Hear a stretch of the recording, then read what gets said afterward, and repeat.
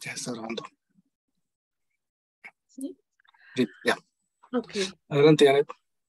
muchas gracias. Hola, buenos días a todos y a todas. Es un placer estar con ustedes. Y bueno, el día de hoy tenemos un invitado muy especial, eh, bueno, de manera también personal, porque lo conozco muy bien, conozco su trabajo, el, el doctor em, Miguel Lucero Rojas. Y bueno, al cual le doy la bienvenida a este seminario de análisis institu- institucional de posgrado en Ciencias Sociales y Humanidades, de aquí de la Huancoajimalpa. El tema que nos va a exponer el doctor Miguel Lucero Rojas es el siguiente, asilo y punitismo, una mirada crítica de las, desde las experiencias en mujeres trans centroamericanas en Estados Unidos. Y bueno, me voy a tomar rápidamente el tiempo para hacer su- semblanza, que bueno, eh, este, realmente es muy amplia, pero le voy a decir de manera acotada a petición del doctor. Es activista y doctor en estudios culturales por el Colegio de la Frontera Norte. Ha colaborado en organizaciones de la sociedad civil desde hace 10 años en temas sobre derechos humanos, violencia y género. En los últimos seis años ha dedicado sus investigaciones a intervenciones en torno a la migración, el desplazamiento forzado, el refugio y la violencia, que opera en los regímenes fronterizos desde un posi- posicionamiento eh, transfeminista.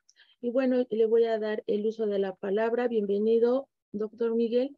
Y bueno, más o menos estamos considerando unos 40 minutos, pero si es un poco más, no hay ningún problema. Adelante, doctor.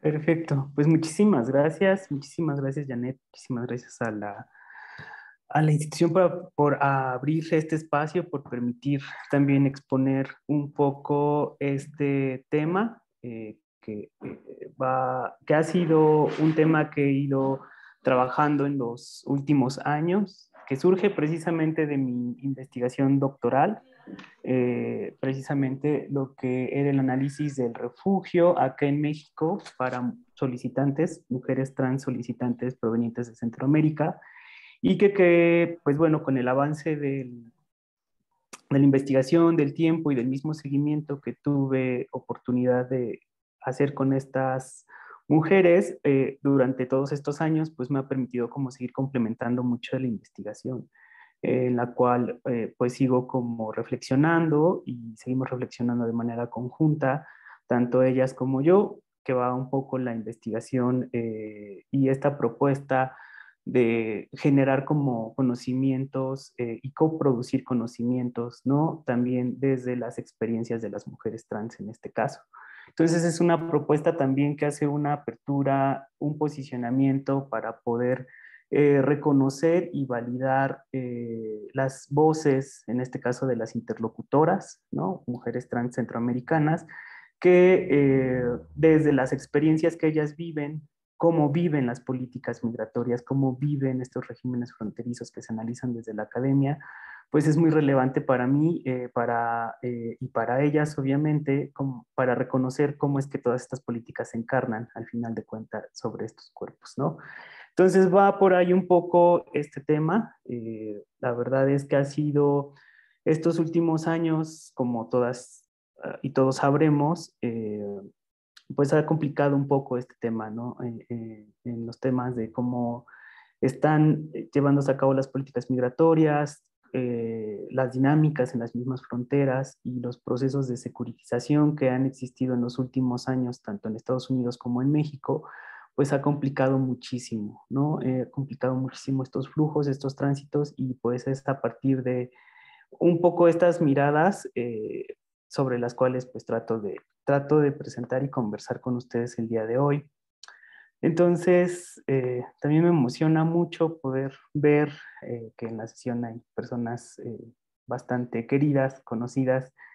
Agradezco también su presencia, porque para mí estos diálogos pues siempre son compartidos y siempre se generan pues de manera colectiva. Entonces, me voy a permitir compartir la presentación que preparé muy rápido para esta sesión y pues bueno, en la medida de lo posible, tratar de dar un poco de claridad a, a este trabajo que les presento, ¿no? que como ya lo comentaban, eh, lleva por título Asilo y Punitivismo, una lectura crítica de las experiencias modernas trans centroamericanas en Estados Unidos. y que bueno, cuál es como esta, este interés que atraviesa, este interés medular que atraviesa todo, todo este campo, campo de estudio o de investigación, pues es como colocar la violencia eh, que impera en distintos contextos, en distintas situaciones, eh, la experiencia de, la búsqueda de asilo, ¿no? de los tránsitos, de la migración, pero también de los países de origen. Eh, pareciera, y una de las cuestiones sobre todo que suceden en los estudios de migración para casos centroamericanos, es que eh, se colocan a estos países de origen como estos lugares eh, donde existe ¿no? una violencia exacerbada, una violencia eh, presente, permanente, por el tema de las maras, las pandillas, ¿no? la misma situación que atraviesan los países, y se desdibuja mucho cuáles son estas, este continuum de esta violencia que, que, que, permanece y que existe pues tanto en países de tránsito como en países de destino. Entonces, para mí, colocar este tema medular como lo son las violencias, la existencia de distintas situaciones, eh, sobre todo estructurales, eh, institucionales, es algo muy importante porque es, eh, son, son también como, como reflexiones que se quedan dentro de lo macro, ¿no? dentro de, de ver este tema de la migración como estas políticas de contención o, políticas eh, que, de cierta manera criminalizan a las personas migrantes, eh, se ven como desde este enfoque, pero no se ven cómo es que afectan también las experiencias y las vidas de quienes están desplazadas, quienes están migrando, quienes están buscando refugio o asilo. Entonces, para mí es como muy importante poder nombrar y establecer como este continuum de violencias que, imperan en estas experiencias y que están presentes eh, también de manera muy específica. En el caso que hoy comento, pues es el proceso de asilo. ¿no? El proceso de asilo que, pues si bien es visto como un derecho humano, como una posibilidad que tienen ciertas personas en, en países, específicamente en Estados Unidos, igual para este caso, pues eh, hay un adelgazamiento de este derecho y hay una, eh, digamos, una complicación que existe, ¿no? Para las personas que lo buscan, debido a que también está eh, muy cercano y cada vez más, digamos, cada vez más despolitizado, cada vez más despojado, ¿no? Este derecho para las personas y que se vuelve eh, también una especie de violencia institucional por parte del Estado, aplazando tiempos de espera. Eh, por ahí una lectura con Aullero, eh, que es con la que yo, yo analizo, ¿no? Cómo es que estas, este, el Estado, ¿no? Los gobiernos, estas políticas de gubernamentabilidad, pues obviamente generan estos tiempos de espera, que son otros procesos con las cuales pues también se incide para que estas personas pues eh, se desistan incluso muchas veces de poder continuar con sus procesos, ¿no? que no aguanten eh, estar eh, detenidas en estos centros de detención o que estén esperando mucho tiempo alguna resolución en la frontera para sus juicios, ¿no? como lo, lo fue y lo ha sido esta política de espera para los juicios en el caso de nuestro país, ¿no? en México con Estados Unidos. Y que bueno, esto al final de cuentas, estas violencias, estas formas en las cuales eh, las políticas migratorias funcionan, pues tienen mucho que ver con, con estas formas en las cuales eh, se, estará, se estará también presentando estas violencias. Con todo esto, ¿no? así como observar y tener muy presente el análisis de estas violencias que se presentan en distintos escenarios, pues para mí es muy importante reconocer como esta ficción, ¿no? Esta ficción que se, eh, se establece o se materializa a partir de todas estas eh, políticas de securitización en las fronteras, o lo que pues ya otros autoras y autores eh, nombran como estos regímenes fronterizos, estos controles migratorios, esta forma en la que se operativiza una serie de dispositivos de control para estos flujos que los vemos operando en las fronteras, los vemos operando en los países de tránsito, en los países de destino, eh, pero que inician ¿no? O que se acentúan, eh, obviamente, desde los países de, origen. Entonces, es nuevamente como colocar en, esta mirada cómo es que el asilo, el asilo no, no lo podrían, o no lo, si no lo veo de manera aislada a estos controles y a esta política de securitización en las fronteras, porque es de ahí, eh, digamos, de donde yo parto también de entender, eh, eh, de, darle otra lectura a este, a este derecho, a esta acción y que obviamente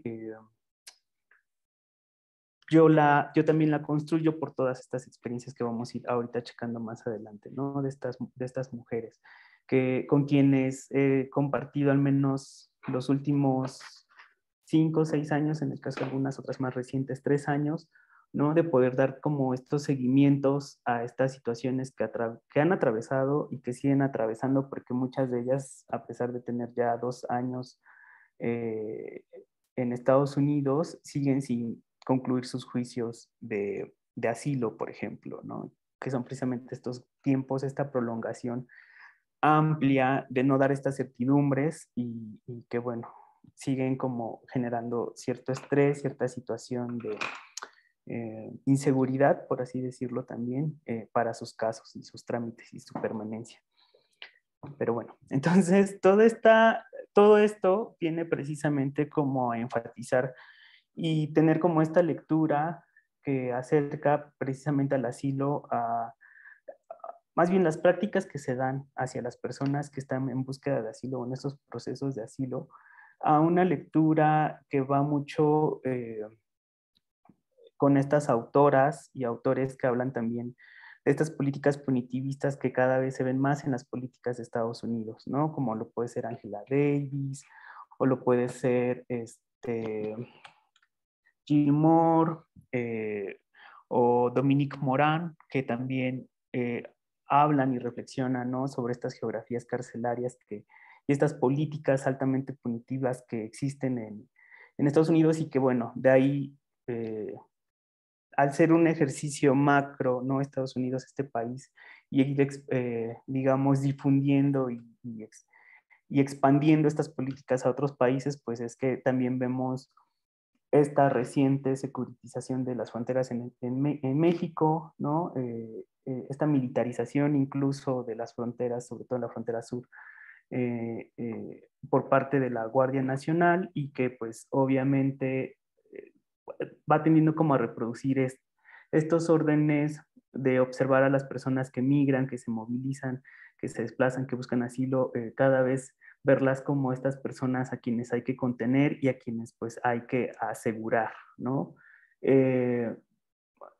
entonces, va por ahí parte de esta, de esta lectura de entender que eh, el asilo se da dentro de estas dinámicas. O sea, hay que situar en cómo es, en dónde está, como contextualizar lo que sucede, porque a la par de que contextualizamos o se contextualiza un poco esto, es que eh, podemos ir como reflexionando más qué es lo que está sucediendo, ¿no? Y ante esta criminalización de la migración que existe como en una política global, eh, hay haciendo una conexión y un guiño con Sayak Valencia respecto a estos glotaritarismos eh, que también se van dando en este caso para las políticas migratorias y de contención, pues eh, precisamente vamos entendiendo que eh, tanto el, refugio, el derecho de refugio, de asilo, pues cada vez se va como absorbiendo por parte de estas geografías carcelarias, los mismos centros de detención, la forma en la cual operan estos eh, dispositivos electrónicos, ¿no? De, para estar controlando de manera georreferenciada, muy específica a las personas que están fuera de, de, los centros de detención o que están esperando sus juicios, eh, digamos, fuera de estos espacios, cómo es que existe todo este gran mercado, ¿no? De quiénes son estas empresas que están ahí al tanto de, digamos, de estos mantenimientos, de, de los alimentos, de los uniformes, de la ropa, o sea, de todo, ¿no? O esta mercantilización que existe a la par de estos centros de detención, pues es importante y sobre todo en un país como lo es Estados Unidos, pues no se puede dejar de lado, ¿no? E insisto, este cruce sí ha sido mucho por estas lecturas de estas autoras y autores eh, eh, que colocan el centro de atención en, en este tema, ¿no? Y sobre todo, una de las cuestiones es como, como que, bueno, yo llego a esta como reflexión abstracta a partir precisamente de todas estas experiencias que se dan y que se retoman con las mujeres eh, trans, con quienes, eh, pues con quienes he colaborado, con quienes he hecho también amistad, con quien he también como pues estado ahí presente eh, de distintas maneras, de distintas formas y con quienes y, con, y quienes ellas también pues han tenido como esta voluntad de poder compartir y de poder visibilizar eh, como estas cuestiones que se atraviesan, ¿no? Entonces, a partir de esto es que observamos que una de las cuestiones es que posicionarse de manera discursiva es hacer como esta irrupción dentro del campo de lo político que está completamente eh, como sedimentado, ¿no? O sea, están estas políticas, así existe, se tienen que llevar a cabo estos estos trámites, tiene que haber como esta serie de, de, pasos a seguir para poder tener como eh, el asilo, el refugio, lo que sea. Sin embargo, ante este panorama que aparenta como ya tener un camino y un trayecto dentro de las instancias gubernamentales, pues obviamente se dejan de lado todas estas situaciones que atraviesan y que de cierta manera eh, pues irrumpen la vida de las personas que, lastiman, que violentan. Eh, y entonces estas experiencias, retomar las experiencias, colocarlas como tal, colocarlas dentro del campo político es precisamente una de las cuestiones, ¿no? Eh, romper con estos silencios, con esto eh, que aparentemente pues las cosas son así y entonces no hay nada que hacer, pues es más bien como que a través de sus voces, a través de lo que ellas mismas comparten, pues eh, precisamente visibilizar que, que, eso no funciona o que eso no, no, no tendría por qué ser, ¿no? Sobre estas mismas experiencias es que también eh, para mí fue muy importante reconocer la forma en que ellas, no solamente ellas como mujeres trans, sino también dentro de las diversidades sexogenéricas, eh, existe como una organización desde los países de origen, países de tránsito y países de destino, ¿no? Redes eh, que buscan y que han buscado como colocar el tema, el tema de la migración eh, y, una crítica, sobre todo colectivos en Estados Unidos que están dando una crítica muy fuerte a estos procesos de asilo. Cada vez hay más, está la coalición translatina, por ejemplo, que es precisamente una, uno de los grandes colectivos que desde hace bastantes años ha colocado eh, eh, o que ha señalado, ¿no? Eh, cómo es que estas políticas migratorias tendrían que ser de otras formas y tendrían que, que, ser aplicadas de forma distinta, porque obviamente cada vez estamos, pareciera que cada vez nos alejamos más de este marco de derechos, ¿no? Cada vez eh, lo vemos como más, menos tangible. Entonces, eso fue otra cuestión. Otra cuestión eh, que para mí fue muy importante como el retomar las redes, quienes tenemos pues ya algún tiempo en esto, sabemos que las caravanas migrantes fueron un parteaguas muy importante acá en México, ¿no? De, de las maneras en cómo se producían estos flujos y en la manera en cómo eh, los mismos las mismas caravaneras, eh, caravaneros, eh, articulaban ¿no? y se posicionaban políticamente dentro del discurso de la organización para poder transitar eh, de una manera un poco más segura, menos violenta y de manera más acompañada. ¿no? Entonces, también fue a partir de estas caravanas que la población LGBT y Q tuvo como mayor visibilidad y que incluso colectivos en, eh, acá, en México, grupos de personas trans, por acá anda Yes Amora, un abrazo, ¿no? Eh, potenciaron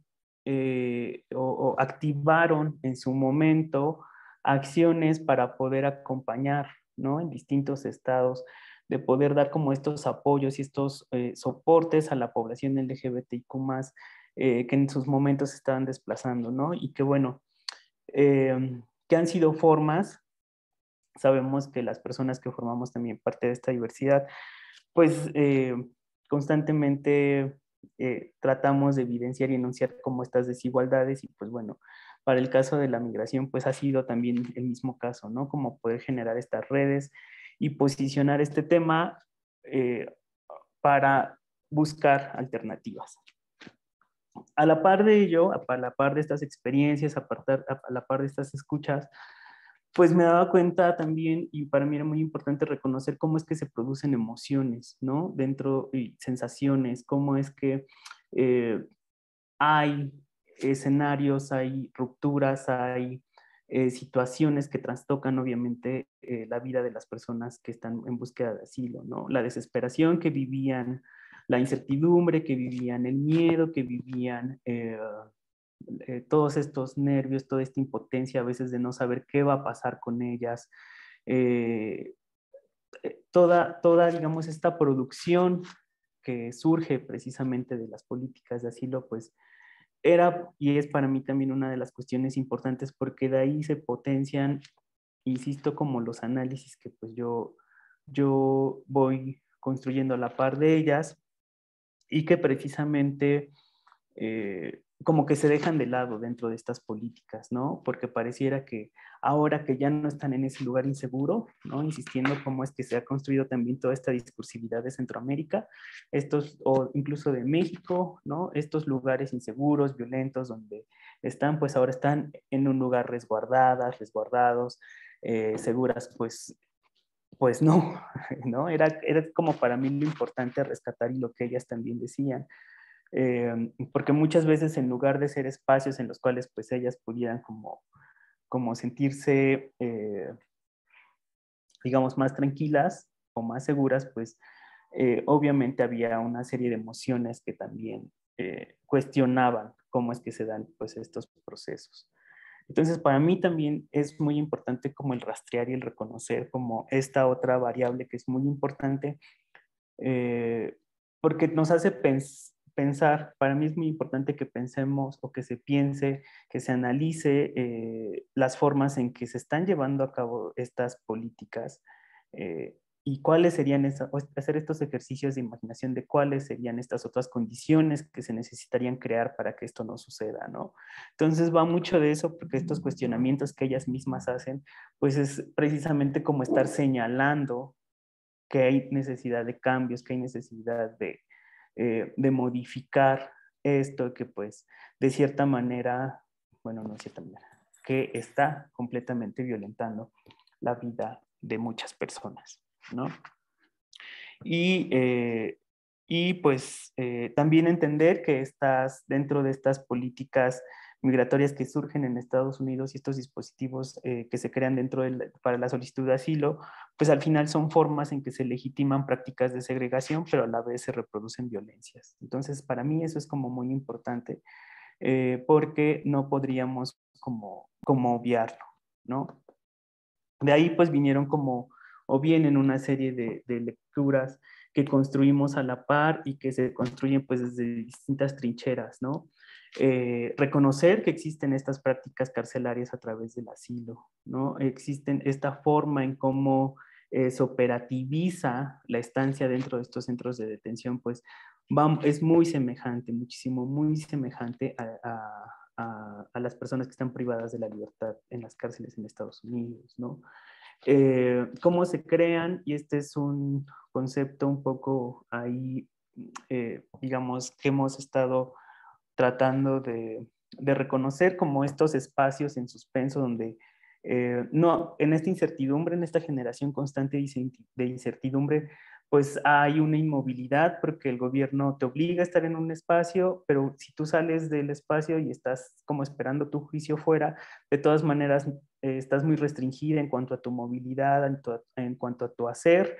Entonces hay como una suspensión de de ti como persona, ¿no? De, de, de, no tener como eh, esto. Hay mayores libertades fuera de los centros de detención, no se va a negar. Sin embargo, eh, siguen existiendo muchísimas restricciones para las personas que están fuera, ¿no? Y entonces es como esta suspensión, este, eh, digamos, pues sí, colocarte como en una inmovilidad que te restringe mucho. Entonces, para mí y para nosotras era como muy importante mencionarlo.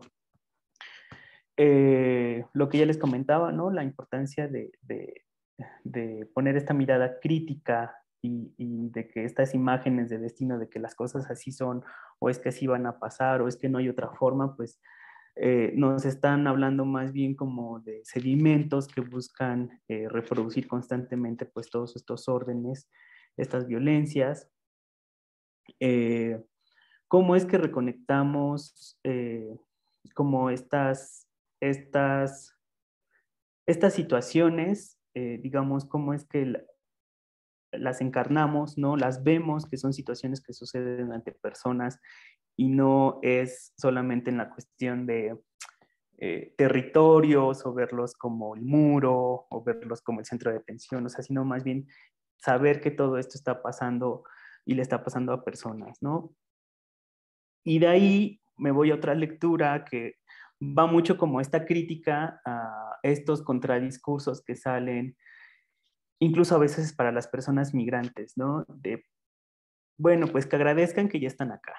O sea, ¿qué más quiere? ¿No? Lo que pasó también mucho con las caravanas y que en redes sociales era muy mediático a veces con eh, situaciones eh, de críticas de que todavía se ponen exigentes, todavía quieren más, pues ¿qué más quieren? Entonces, como este otro contradiscurso que también existe desde, desde lo eh, pues sí, desde lo social, incluso desde los mismos hacedores de políticas públicas que muchas veces también reproducen este discurso, retomo ahí un concepto de Marcio Ochoa que habla de las ciudadanías ingratas y que va mucho como eh, de pensar que, las, que, nos, que, que debe existir como una especie de conformismo hacia lo poco que se da, hacia el poco suelo político que te comparten, ¿no? hacia las, esta este pedacito que, te otorgan y que pues uno tendría como que estar muy agradecido con, eso, ¿no? Y, y Ochoa, que también ha estudiado como el tema de,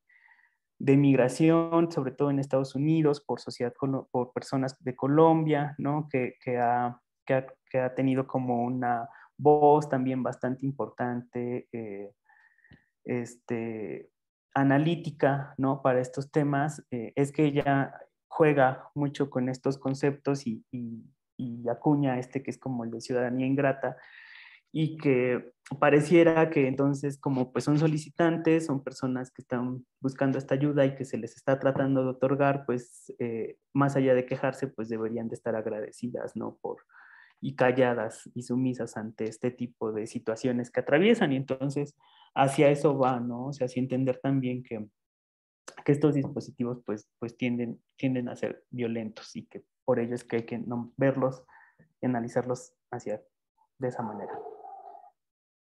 Y pues bueno, el último punto pues ya lo dije, ¿no? Y ya de ahí va, eh, ya no sé, creo que vamos bien de tiempo.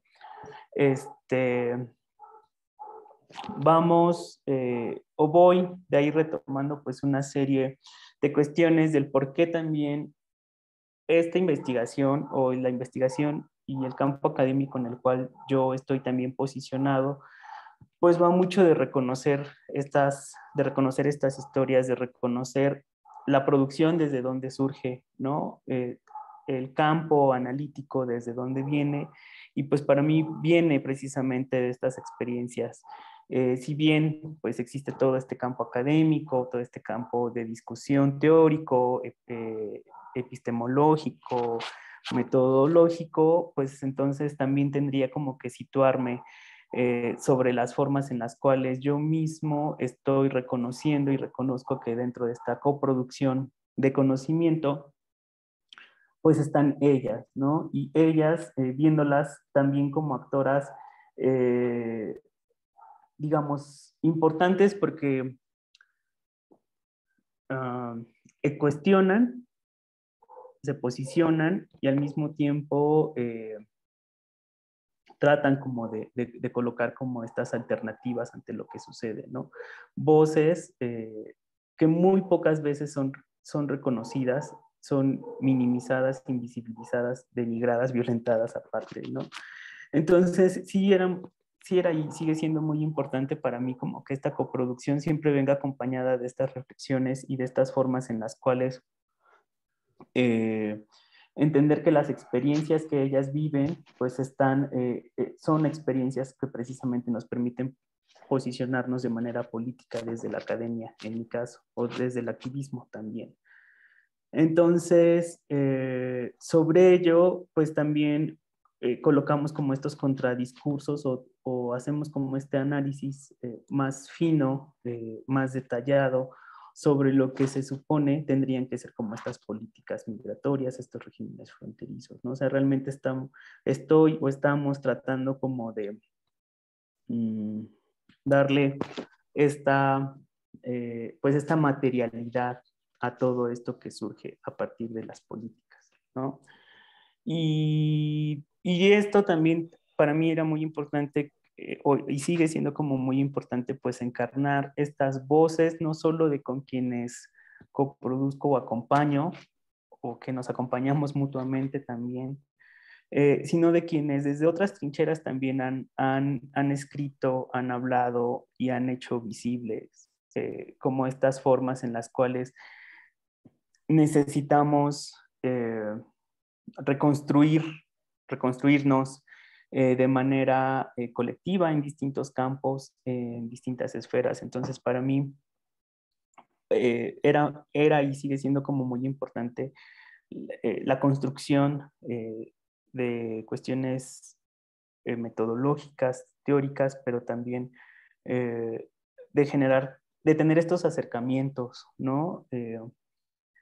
y de validar muchos de estos conocimientos que por mucho tiempo la academia también ha negado. Entonces, que se ha construido desde jerarquías en las cuales pues yo soy el ente de, de producción y de conocimiento y pues yo te digo tú en realidad quién eres, qué eres y qué haces. No tú me vas a decir lo que eres, lo que haces y lo que dices. Entonces es como cambiar este, este enfoque, colocar eh, también esta mirada eh, distinta, ¿no? Esta, este posicionamiento que permita pues reconocerlas también dentro de este campo eh, y validar, validar, eh, eh, ayudar a, compartir, a enunciar y a visibilizar cada vez más estas experiencias, ¿no? Desde sus propias voces, desde sus propias emociones, desde sus, sus propias lecturas, porque la realidad es que de lo que ellas ven y de lo que ellas veían en 2017, lo que veían en las caravanas, lo que vieron posterior a esta pandemia de COVID, pues es que eh, estas políticas cada vez tienden a exponerlas más en lugar de apoyarlas. Y eso es algo que, que, hemos estado viendo de manera constante, ¿no? Y que, y que en esta necesidad como de reconocimiento y, y de colocar, de retomar esta estas narrativas, pues es importante, porque también, insisto, están tratando todo el tiempo de dislocar y de trastocar como toda, todo este andamiaje que ya está muy cimentado y que cada vez busca solidificarse más, eh, obstaculizar más, pues es, es desde donde yo parto. Y claro que retomo todo este, retomo y posiciono este tema de las, eh, de las mujeres trans porque ha sido con quienes he trabajado eh, de manera más cercana, ¿no? En los últimos años. Entonces, estas como, eh, como estos ejercicios, estas propuestas también metodológicas van mucho a entender que, que, eh, que, la discursividad, ¿no? el campo académico podría nutrirse muchísimo más retomando muchas de las experiencias, ¿no? situándolas desde el campo de la producción y no solo como eh, fragmentos que obviamente eh, pues las despolitizan y las dejan ahí solamente como víctimas o las dejan solamente como, eh, como personas que están, ah, ¿cómo decirlo? Pues apreciando las situaciones que se viven, ¿no? Y pues bueno, quiero dar más tiempo a la reflexión colectiva, a las preguntas. Mucho de esto que ustedes también eh, pudieron, eh, bueno, que comentó hoy de manera muy específica un trabajo que estoy haciendo en este momento, iba mucho de, la, de este número de esta revista de Chan que otras compañeras eh, colaboradoras y colaboradores que por ahí también andamos en estos temas, pues estamos tratando como de, de colocar en estas construcciones de un campo distinto y también desde un posicionamiento de una academia eh, que permita también como ir reconociendo estas experiencias a estas sujetas eh, políticas, a estos sujetos políticos para el caso también de, de las demás eh, personas. Entonces, solo quisiera cerrar con esta frase de Audre Lorde, que siempre es como una de las personas que nos permiten como seguir reflexionando, ¿no? Yo iba a morir más tarde o más temprano, tanto si había dicho lo que quería decir como si me hubiera callado. Mis silencios no me habían protegido, nuestros silencios no nos protegerán. Y que va mucho de esto, ¿no? De retomar estas experiencias, estas voces, de situarlas y de visibilizarlas. Y pues hasta acá dejaré parte de esta presentación. Igual si existiera este espacio para poder dialogar. Lo agradeceré mucho.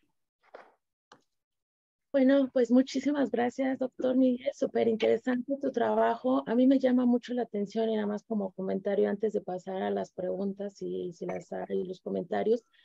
Creo que es muy, muy importante lo que tú mencionas en relación a esta crisis, a esta crisis migratoria y cómo los cómo en respuesta a estas políticas no punitivas que criminalizan que, que, se, que al final de cuentas, pues traen toda esta dinámica de, de securitización, dinámica como no sé, creo, ah, perdón, voy a, no sé si por ahí tienen alguien abierto el micrófono.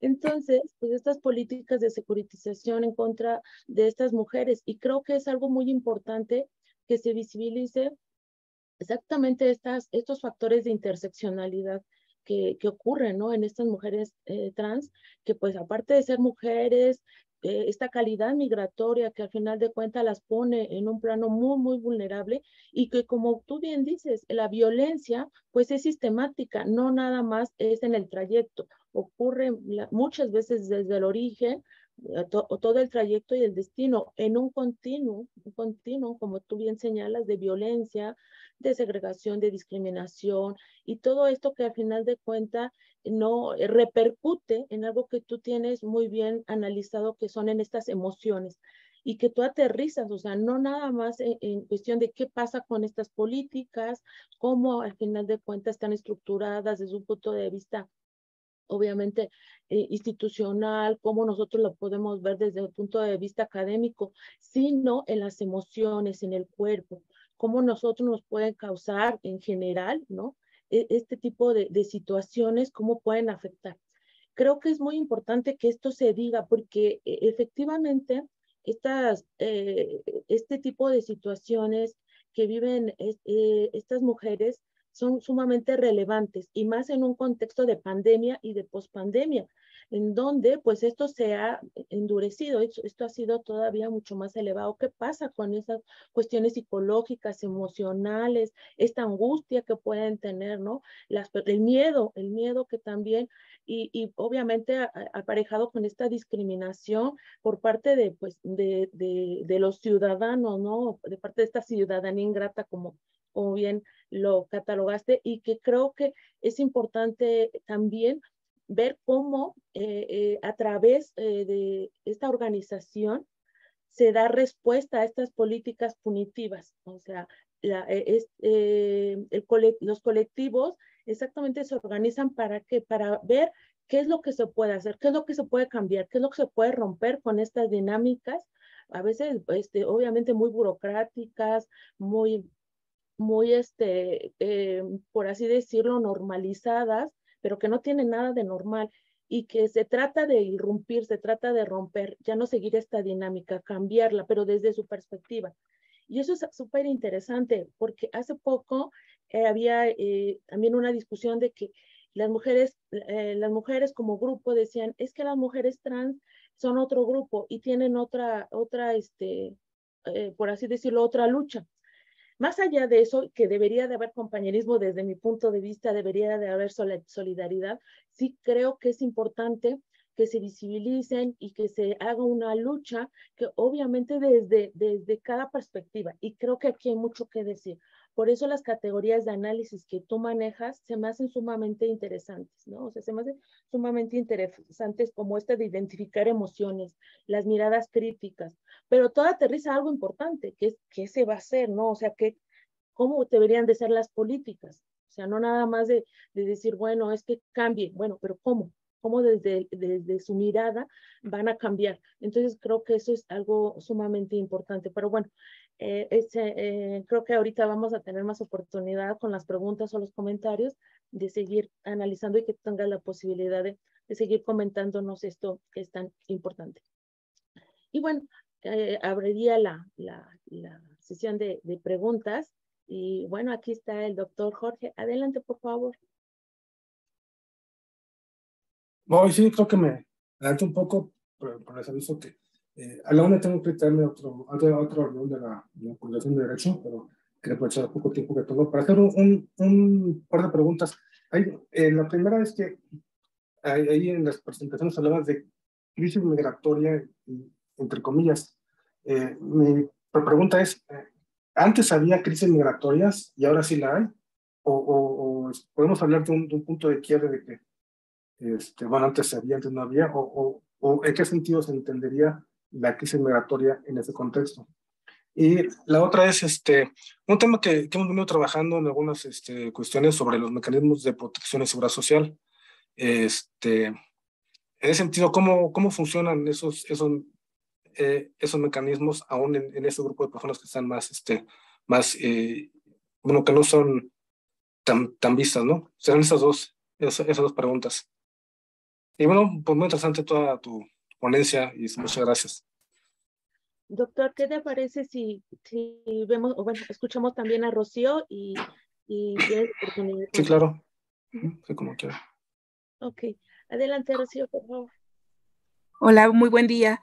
Eh, pues igual, eh, muchas gracias por, esta, por compartir esta presentación y me surgen algunas inquietudes respecto a este tema que en primera instancia eh, nos habla de este, estos sectores que son muy vulnerables de, entrada cuando hablamos de la fragilidad de, de los, migrantes en, un, en modelos eh, de, gobierno en, en, países que también van siendo presionados en cuanto a su política migratoria. Me gustaría saber si, si han observado dentro de estos estudios que ustedes llevan eh, durante este tiempo, si han observado algún tipo de, empatía que vaya surgiendo con, estos sectores em, vulnerables de por sí. Eh, recuerdo haber eh, leído en, algunos estudios sobre la, debilidad de, las mujeres de por sí ya vulnerables al ser migrantes, pero que a sabiendas de que, de que podrían ser abusadas sexualmente violadas, eh, toman eh, medicamento para, para no eh, concebir. en el caso de las, de las mujeres trans, ¿ha habido algún incremento en cuanto a una cierta simpatía, empatía que pudiera surgir en, entre la población? Y esto a, propósito de, un, de, una de las observaciones que usted hace relacionado con qué tanto mm, esta em, postura de, mm, que despierta en la sociedad de, este tránsito, este paso, eh, de, lo, que los vecinos podrían aportarles, de lo que la expresión de, no recuerdo, eh, eh, una mujer centroamericana de, de que cómo les ofrecían frijoles y, tal vez por ahí viene este concepto de la, de la ciudadanía que mencionaba la doctora Janet, eh, si esta, esta necesidad de, hacer, hacer, visibles a estos sectores vulnerables se ha venido acompañando de, una suerte de, apoyo social eh, en cuanto a una mayor visibilidad de lo que está sucediendo con los migrantes.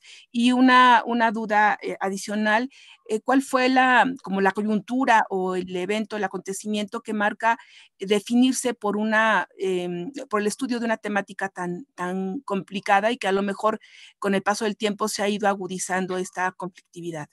Muchas gracias. Muchas gracias. Este, adelante, por favor, doctor Miguel.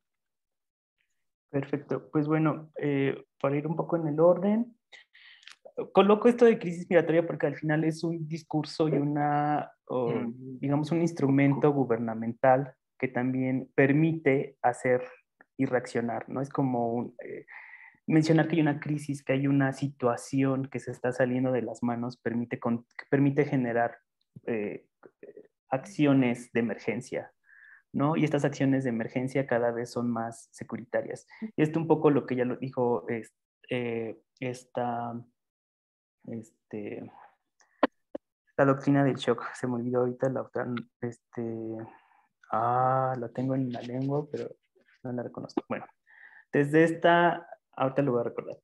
Eh, desde esta autora que habla precisamente de la doctrina del shock y que hace como esta eh, este análisis ¿no? de cómo ante ciertas situaciones de crisis los gobiernos tienden a endurecer sus políticas y tienden cada vez como a reestructurar, porque ante una crisis hay medidas de emergencia y en estas medidas de emergencia es muy complicado que podamos como eh, entender, Naomi Klein, muchísimas gracias Rocío, eh, hay, hay, que entender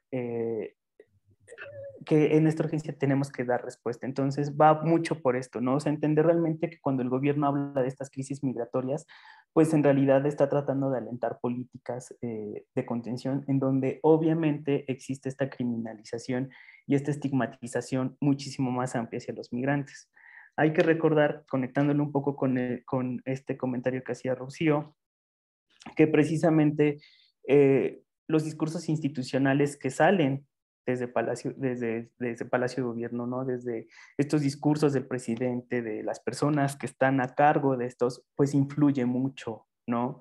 Entonces, el que hayan sido personas que no hayan respetado las políticas que en su momento se estaban proponiendo, eh, que no hayan acatado, ¿no? Estas opciones que les daba el gobierno en su momento, pues obviamente los coloca, ¿no? Como estas, estas personas desobedientes, estas personas, eh, pues, eh, problemáticas, ¿no? Que vienen a invadir el país, a crear inseguridad, etcétera. O sea, hay una, serie de conexiones muy... Eh, que, que, se van, que van de la mano, ¿no? que no podríamos verlos de manera aislada y que precisamente con este tema de cómo es que los países, eh, los gobiernos hablan de estas crisis migratorias, pues es también lo que están tratando de, de, poner, eh, no, no tanto señalar qué vamos a hacer, sino más bien cómo vamos a contener, cómo vamos a hacer para que esto no continúe.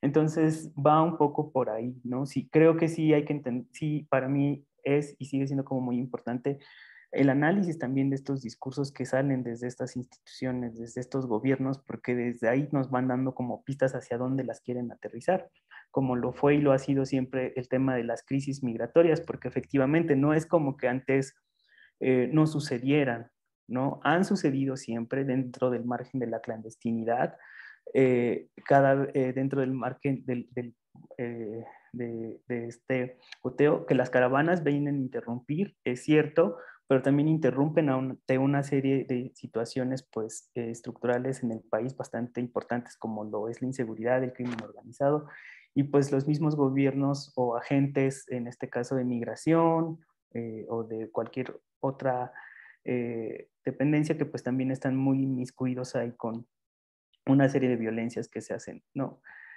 Entonces, pues por ahí va, ¿no? Por eso es que también colocar este tema de la crisis migratoria, pues es entenderla como, pues estas oportunidades que se tienen para poder ir eh, dificultando más los accesos, ¿no? Y colocando mayores riesgos a estas personas que se trasladan, en el caso de México, como un país de tránsito, ¿no? Em, sobre eh, estas cuestiones de, de, cómo operan como estas políticas ya estando en Estados Unidos, se iba un poco por ahí como en el marco de los derechos. Eh, sí va por ahí, perdón, este doctor Jorge. No, no, este, básicamente los mecanismos de protección y seguridad social que tienen eh, este grupo, que por sí los, los, vulneratorios no tienen, pero en estos eh, hay, hay, hay este, redes, eh, cómo funciona la sociedad civil, cómo se okay. ocurrir esa parte. Una de las cuestiones eh, que atraviesan es como, o que atravesaban, porque ahora que hubo una mayor mediatización de los casos y que hay como una mayor atención en el tema, pues creo que sí va mucho de la mano con estas organizaciones. La verdad es que eh, hay, hay fuertes organizaciones en Estados Unidos, eh, principalmente en California y en, sí, yo creo que en California, Nueva York, en Texas hay muy poco, pero sí hay como estas organizaciones que están como al pendiente de estos temas, ¿no? Y que te están empujando no solo como en resolver de manera inmediata dentro de los centros de detención o fuera de los centros de detención, eh, sino que también ya teniendo estas incidencias para también colocarlo dentro de la política nacional de Estados Unidos, ¿no? Y de colocar eh, como estas, estas situaciones, eh, porque no es, que tampoco, no es que tengan muchas ventajas eh, a diferencia de otra población, ¿no? O sea, si bien hay un marco reconocido, en este caso de la violencia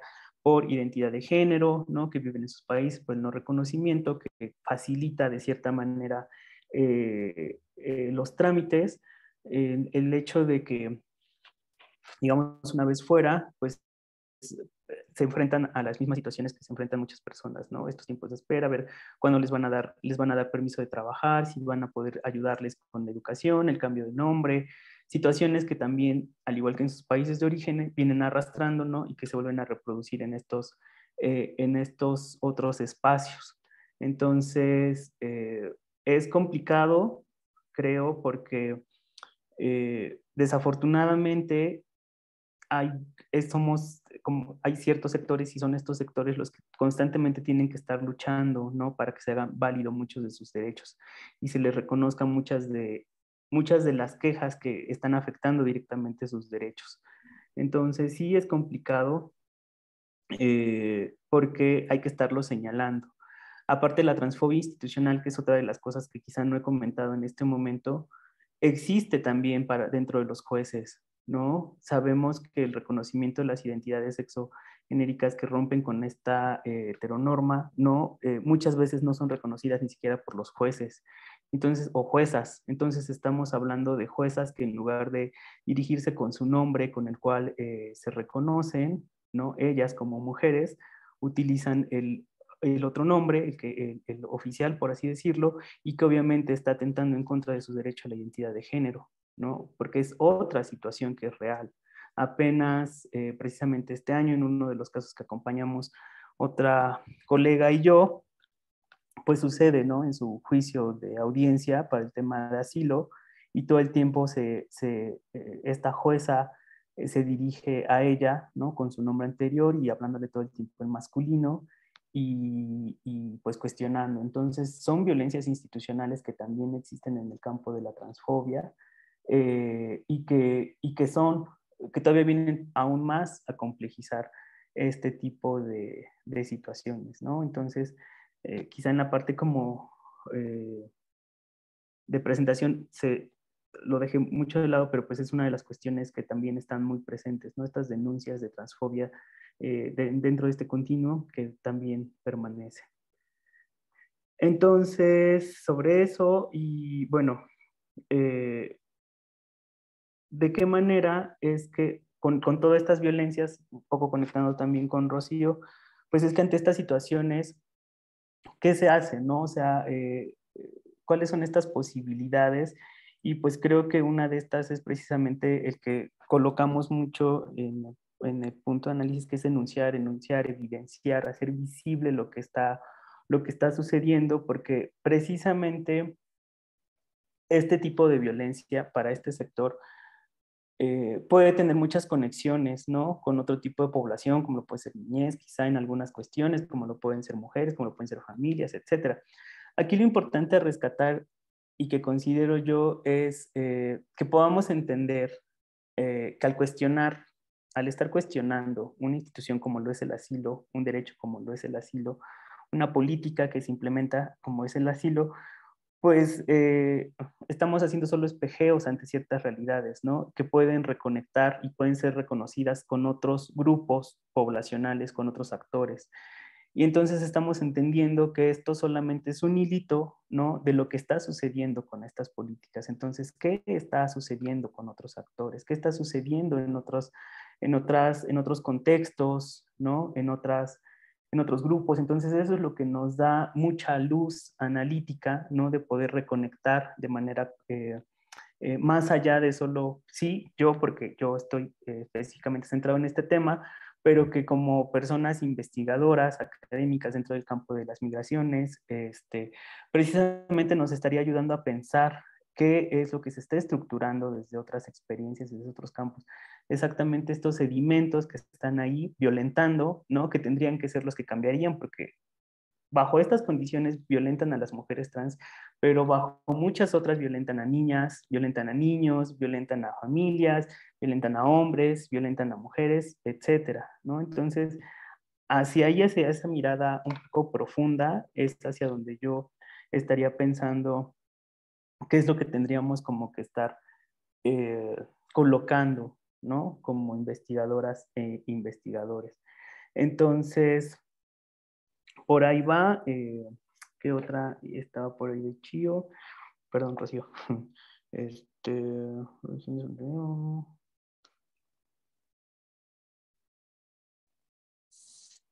y pues sobre esto, pues cómo es que Ay, perdón, Rocío, ¿me podrías recordar la segunda? ¿Algo era sobre la empatía? Sí, eh, preguntaba justamente eh, que si se, han observado a partir de estos, em, este tiempo que lleva investigación, que haya surgido eh, algunos sectores sociales empáticos hacia la ruta de los migrantes y en particular hacia las mujeres trans. Este, sí, me, me parece que como todo, como toda situación hay, hay de todo, ¿no? Hay discursos que apoyan y hay situaciones que, que complican, ya me acordé un poco. Este, y hay que tener como mucho, creo que estas ayudas, estas resistencias, estas formas de organizarse, estas formas de estar presente ante ciertas políticas, en este tema y en otros, eh, están muy presentes, sin embargo, tienden a ser muy frágiles. ¿no? Porque están, eh, de cierta manera, de manera constante, en conflicto, contraposición con discursos que tratan todo el tiempo de reorganizar y de volver a, de, organizar sobre todo las opresiones. ¿no? Pensemos en estas marchas, si lo pensamos y lo conectamos con otros fenómenos como lo son las, las, las manifestaciones feministas que sucedieron durante eh, previo a la pandemia, que eran movimientos en América Latina muy fuertes, donde obviamente existía eh, un descontento ante la situación del machismo y violencia que se vive en distintos contextos y que era un fenómeno global muy importante que estaba tomando importancia. Eh, existía como este otro contradiscurso, estos contradiscursos y estos posicionamientos que constantemente buscaban como mantener el orden y generar como estas mujeres, este, nuevamente, ¿no? Violentas, estas mujeres eh, que no se ponen a pensar, que dañan el patrimonio cultural, eh, etcétera. Eh, creo que se da y es muy común en muchas de estas situaciones donde se hacen visibles las opresiones y donde se busca luchar por derechos, que la reacción y la respuesta sea nuevamente como señalar, criminalizar, entonces también estamos o hemos visto, desafortunadamente en nuestro país, como cada vez también defensoras, defensores y propuestas críticas ante ciertas situaciones pues tienden a ser criminalizadas, criminalizados, por ejemplo. Entonces parece tener un, o generar un mayor pánico o miedo a las personas para poder ayudar, organizarse para ayudar o hacer. Entonces sí me parece que no podemos irnos como a los extremos y es un poco lo que yo también trato de hacer en la parte como analítica. Si bien existen estos grupos y han existido estos grupos eh, que constantemente están como apoyando, generando estas redes, creando estas redes, la realidad es que cada vez la política se, se, va afinando, se va haciendo más hermética y entonces muchas veces va complicando más, ¿no? Si vemos el número de casos que llegan a Estados Unidos ahora en búsqueda de asilo, pues obviamente no se eh, acercan a lo que sucedía hace dos años, ¿no? Entonces, ante estas complicaciones eh, que hay cada vez más por todos los factores que tenemos en la actualidad, pues sí, sí, sí es importante como ir, ir entendiendo, ir como observando cómo se crean estas resistencias, porque así lo quiero, así lo quiero como nombrar, así lo retomo, ¿no? Cómo es que se crean estas resistencias, sean individuales o colectivas, pero a la vez cómo es que existen estas, pues esta contraposición que pues trata, ¿no? Como de, eh, eh, pues sí, de volver a violentar o de tener, como comúnmente se dice, la, el sartén por el mango. Doctor, y le preguntaba eh, justamente esto, porque me viene como a la mente la, como la euforia que, que se desató en la, en la pasada marcha de orgullo lésbico gay, que no tuvo precedente con, con anteriores movimientos que se habían suscitado ya en la ciudad, pero que a partir de eh, una nueva reconfiguración de lo que, de lo que significa eh, esta, esta comunidad y su crecimiento en el empoderamiento de sus derechos y la exigencia del respeto a sus derechos como, como seres humanos, eh, si esto de alguna manera ha influido en, en, generar conciencia de, de, esta necesidad de, de, tener un trato no diferenciado y eh, empatía en cuanto a, las mujeres trans eh, migrantes. No sé si, si hay alguna eh, correlación al respecto.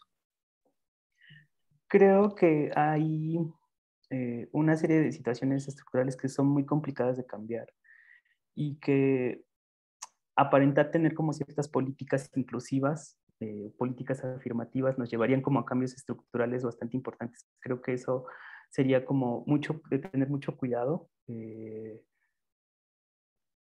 porque llevamos muchísimos años, eh, pensamos eh, que el movimiento LGBT en México y en el mundo es muy reciente, pero en realidad tuvo un apogeo muy fuerte en el 78, principalmente en años de décadas ya estamos hablando. En México también ha existido un movimiento LGBTIQ más muy fuerte desde los años 80 que estado presente.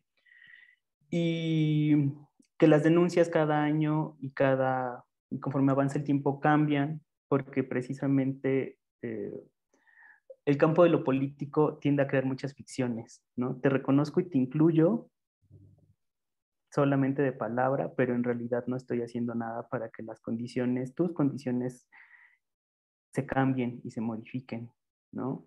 Reconozco que te puedes casar, casar pero los crímenes de odio siguen existiendo, por ejemplo.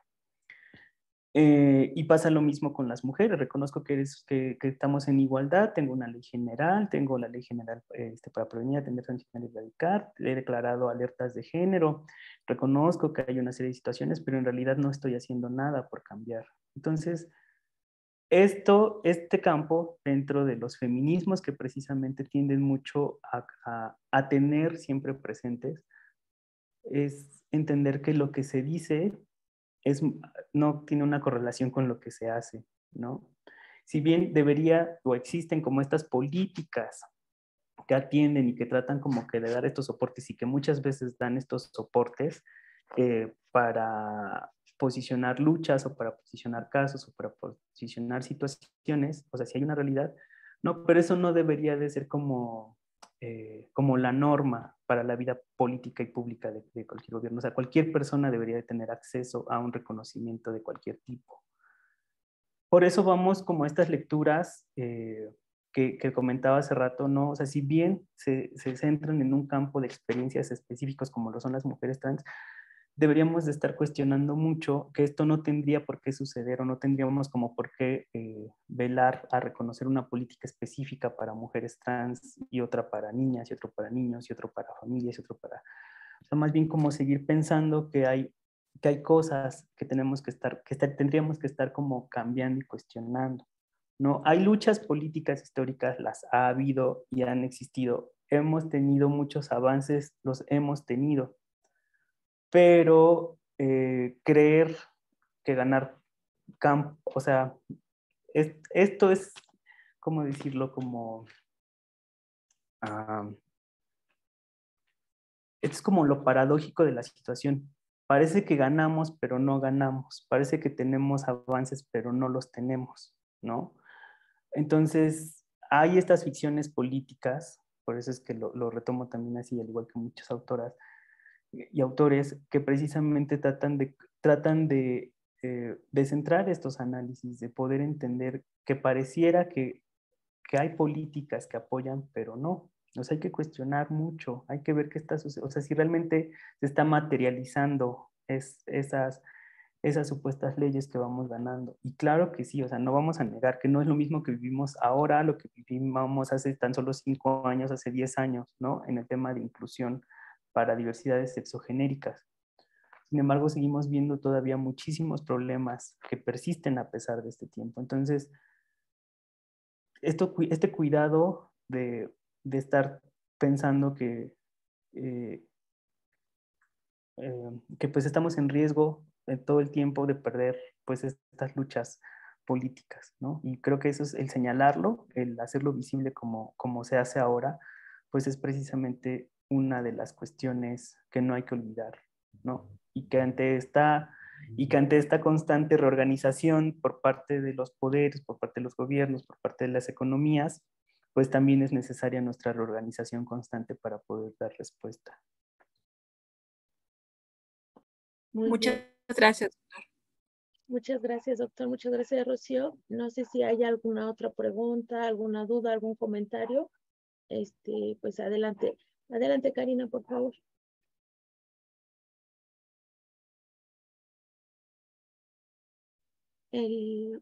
Ah.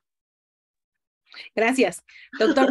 gracias, gracias por, por, eh, pues, por todo lo que usted puso en sus diapositivas. Me gusta mucho más el hecho de que sí, que hagan investigación, pero esta parte de esta investigación ah, humanizadora, lo, llamaría yo, yo, yo eh, me quedo, usted puso muchas de las frases, están ahí, la verdad es que están impresionantes, pero esta, esta última idea que usted proyectó, esta frase, déjeme, la, la, leo. Yo iba a morir más tarde o más temprano, tanto si había dicho lo que quería decir como si me había callado.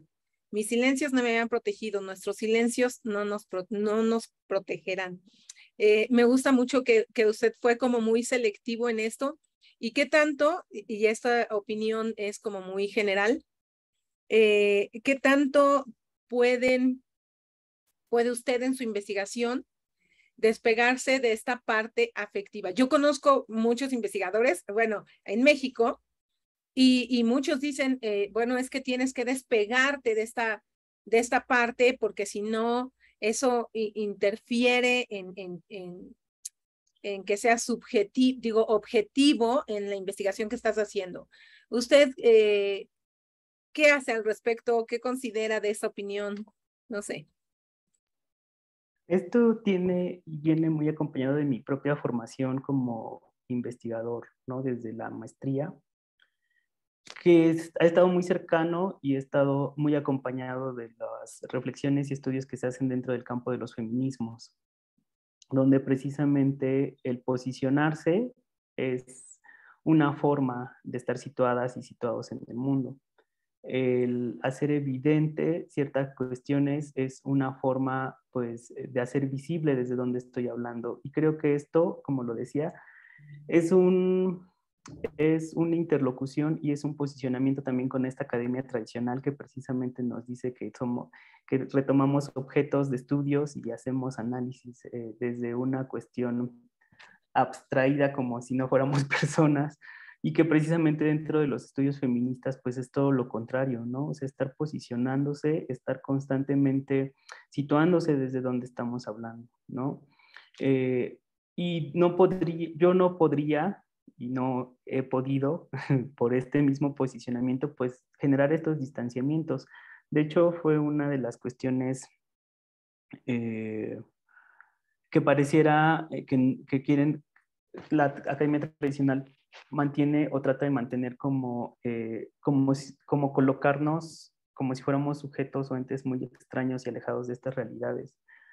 Pero me parece que no, y menos en temas eh, que tienen que ver con, con la violencia, eh, donde todas y todos somos eh, personas que tenemos esta, este grado de vulnerabilidad latente. Entonces, creo que más allá como de, de continuar, siempre ha sido como este posicionamiento hacia, hacia esa academia, ¿no? que busca todo el tiempo colocar como la objetividad como el eje y campo desde el cual parte eh, y más bien como confrontarla, ¿no? Confrontarla porque son otras formas de hacer academia, son otras formas de hacer investigación, ¿no? Es como luchar con este extractivismo eh, eh, epistémico que muchas veces surge desde la misma academia, ¿no? Porque está o se está como muy acostumbrado dentro de la academia, pues llegas, haces tu investigación, te vas, publicas, tienes tu SNI, sigues, vas, llegas, produces y otra vez, ¿no? Y entonces estás como muy alejado y muy desconectado de estas situaciones y creo que precisamente estas o este posicionamiento político que yo también hago, que yo también tengo, ejerzo y trato como de compartir, eh, pues viene, viene acompañado desde estas, estos posicionamientos este, feministas, ¿no? Que, que, insisto, desde donde yo desde donde yo vengo, desde donde yo me nutrí académicamente y desde donde yo comparto. Entonces, más allá como de alejarse, de abstraerse, pues más bien es como entender, ¿no? Tratar de entender estas situaciones complejas que suceden, porque eh, viene un poco con la construcción de esta empatía, o sea, si realmente queremos hablar de una empatía radical, como lo dice Clara Valverde, no tendríamos que estar pensando que hay situaciones eh, que en este momento quizá no me tocan a mí, pero en su momento me van a tocar de otra forma, ¿no? Y entonces, o que me han tocado incluso de otra forma. Entonces, eh, creo que por ahí, que por ahí iría, ¿no? Si hay un posicionamiento, eh, la academia tiene, tiene que hablar, porque incluso cuando sostiene machismos tendría que reconocer que está sosteniendo machismos o que está sosteniendo violencias cuando quiere presentar objetividad o neutralidad. Entonces sí es importante como reconocerlo y sobre ello hacerlo. Entonces, eh, por eso es que siempre digo desde dónde estoy, desde dónde estoy parado, desde dónde estoy retomando, porque es para mí y por lo que he aprendido por muchas otras personas, eh, creer en la objetividad en estos tiempos, pues no es más que un posicionamiento que esconde muchas opresiones. Muchas gracias. Y si me permite hacer una pregunta más, doctora Janet. Este, gracias. ¿Cómo, bueno, desde su experiencia como investigador y como alguien empático en esta situación, ¿qué se hace en, eh, cómo vincula usted la academia con algo práctico que resulte en, en un futuro distinto para esta comunidad. Eh, eh, porque podemos, y, e, y, esa ha sido la queja siempre también de la academia, ¿no? De, bueno, me hablas de cosas abstractas, pero ¿y? O sea, ¿y qué más haces, no? Yo estoy segura que usted sí. Entonces, yo lo quiero escuchar. Gracias. Bueno, ¿qué hacemos? Porque, pues, pensar en lo individual tampoco me ha funcionado mucho o nunca lo he sostenido creo que somos muchas personas, ¿no? Las que, hemos, las que estamos eh, a la par de este tema, en desde, muchos, eh, desde muchas trincheras, desde muchos puntos, eh, tratamos de mantener estas luchas por otras formas de hacer este mundo más vivible, más habitable. Entonces creo que sí va mucho desde tener estas redes, ¿no? Desde saber, porque ellas te platican, oye, es que yo hice esto. Y por dentro, ¿Qué tal? ¿Alguien más? El jabón lirio. Ay, pero Virginia, sin querer se le activó el micro. Virginia. Ahí está, ya. Entonces, sin que, o sea, como estas formas, pensar también como estos ejercicios eh, de acción política, de acción de resistencia, es dejar de pensarlo como eh, estas contrapartes dentro de esto, de lo macro, sino pensarlo también dentro de lo micro. Y pensar que hay formas de hacer que tienden a desestabilizar también al sistema desde, lo, desde aquello que no es tan enunciado o sea, como querer hacer una ley ahora para, no sé, cualquier cosa, pareciera que puede ser una solución, pero en realidad puede ser otra traba más, ¿no? Hay un libro que se llama Brujería Capitalista, que se lo recomiendo y que va mucho como estos análisis eh, dentro del campo político y del quehacer, que pensamos que tenemos que tener estas grandes respuestas, ¿no? Ante situaciones y que al final nos vuelven a, nos vuelven a hacer caer eh, dentro de, de, esta trampa, ¿no? Y entonces vuelve a cerrar el campo de lo político algo muy, muy, o sea, se hace un embudo y entonces termina siendo muy selectivo esta, esta cuestión. Entonces tendríamos que estar pensando cómo estas contrarrespuestas, estas organizaciones, ¿no? Eh, estos tips a veces que se dan hacia dónde ir, llegas a tal lugar y estás acá, oye, yo conozco a, esta persona que desde allá te puede ayudar, yo sé que si haces, entonces estas redes que se van tejiendo en fino, ¿no? De dónde llegar, con quién ir, qué decir, qué no decir, si llegas acá, dónde no tienes que ir, si vas acá, qué tienes que hacer, eh, que existe esta organización, que existe esta, este albergue, que allá nunca te vayas a parar, acá no tienes que decir. Formas de ir sorteando como esta política eh, punitivista son formas y respiros que están a grietas, ¿no? O sea, si lo pensamos, están estas grietas y son estas formas en las que vamos escapando eh, y que en algún momento lo ideal es que se rompan o que llegue, tiendan a romper, ¿no? Pero hay que asegurar también la vida y sobrevivencia de muchas personas. Entonces, en la medida de lo posible, ir pensando a la par opciones, ir pensando alternativas, ese es, ese es un gran reto, ¿no? Ese es un gran reto, eh, que cada vez exista una organización aún mayor, o sea, que de dos, tres personas que estábamos investigando estos temas, ahora seamos más personas, eso es ya otro aliento, porque vienen a refrescar mucho las miradas, que de uno o dos colectivos que había en Estados Unidos de LGBT ahora existan más y cada vez existan más campañas que visibilizan las mismas personas que han llegado a ser solicitantes de asilo y que ahora son asiladas en Estados Unidos, estén haciendo acciones a favor de otras personas que vienen en camino, eso va cada vez refrescando más, ¿no? Entonces, estos ejercicios imaginarios que quisiéramos la inmediatez siempre, pero desafortunadamente y como están las condiciones no se pueden hacer.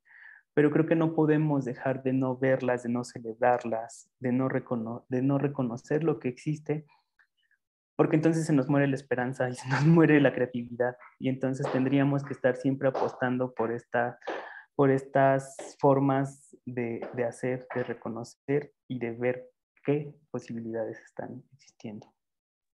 Gracias, doctor. Gracias, doctora Janet.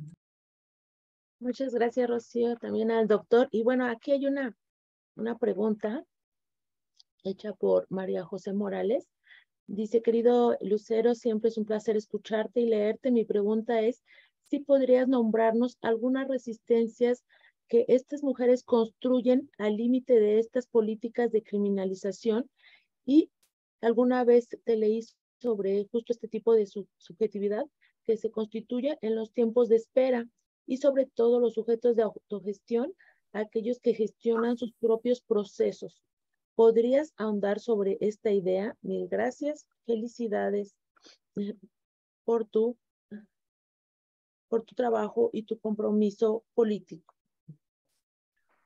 Sí, hola María José, un gusto poder leerte y que estés acá con nosotras.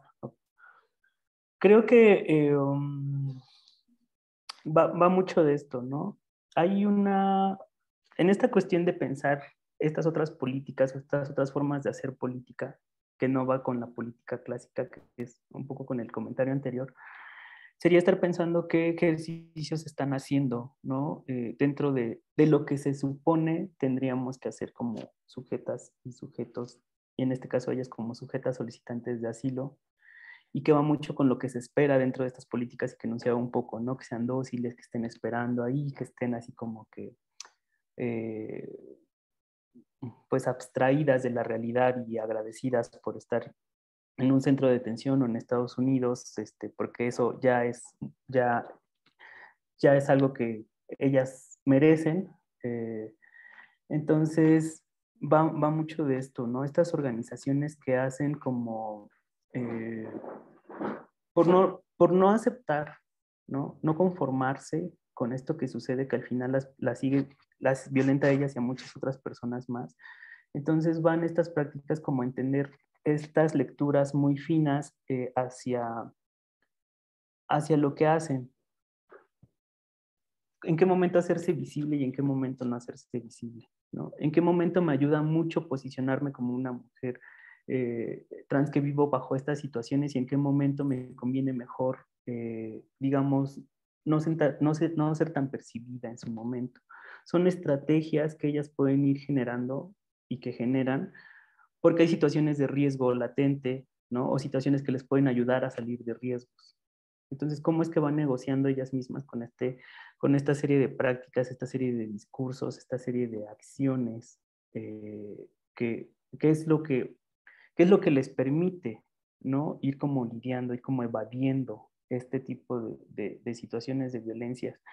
Entonces van por ahí, ¿no? ¿Por qué es que tengo una cuestión ahí con la, con la mirada de la autogestión? Porque también me parece eh, un tanto problemático lo que muchas veces sucede en, este campo y en muchos otros, y es como eh, esta, esta meritocracia que tiene que ver mucho con o, con este sistema que tiene que ir mucho con, es que si ella lo logró a pesar de todo esto, tú también puedes, ¿no? Y entonces esta, esta imagen tramposa también da el sistema, eh, es, es, a lo cual tampoco he querido como, como llegar y también de ser muy cuidadosos. Por eso es que tampoco es que fanatizo las resistencias en el, es que esta es la forma de hacer, sino ver que también se nos puede volver a atrapar es esta vigilancia constante que quiero tener.